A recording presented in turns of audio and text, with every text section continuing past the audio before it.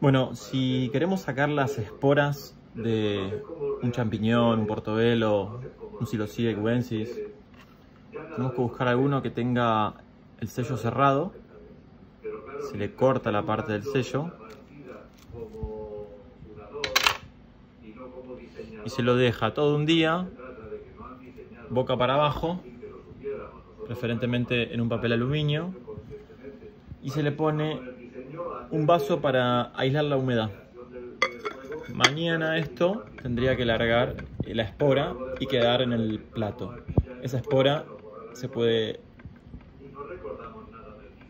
esa espora se puede recolectar y poner en tierra, en, un compost, en, en fibra de coco, para generar el micelio.